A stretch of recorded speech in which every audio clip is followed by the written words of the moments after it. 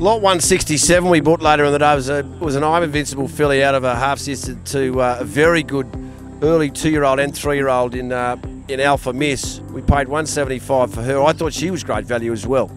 Yeah, I agree. She uh, she reminded me a lot of those good uh, I'm Invincible fillies. She's a, a medium size. She's neat. She's well coupled. She looks like she'll go early, and she'll definitely be a filly we would be targeting the race with from as early as next spring.